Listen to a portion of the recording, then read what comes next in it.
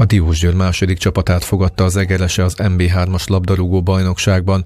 Az első helyzet Obuné nevéhez fűződött a 12. percben, majd a mezőnyben jobb egriek veszélyeztettek Vajda akrobatikus lövésével. A játékrész második felében is támadásban maradt az Eger, a Diósgyőr inkább a kontrákban bízott.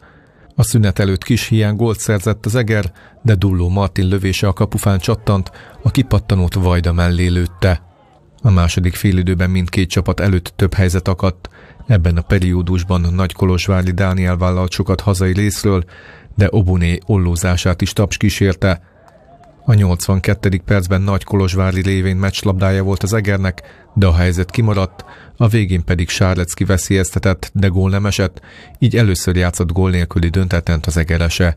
Egy nagyon-nagyon nehéz talajú pályán férfias küzdelmet folytattak, 90 percen keresztül egyik csapat se tudott a másik felé kerekedni.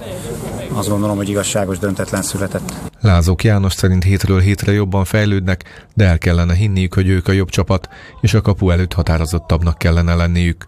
Játékba, dominanciába, minden tekintetben jobbak voltunk jóval, mint a Diósgyőr, úgyhogy a Diósgyőr felállt négy NB1-es labdarúgóval.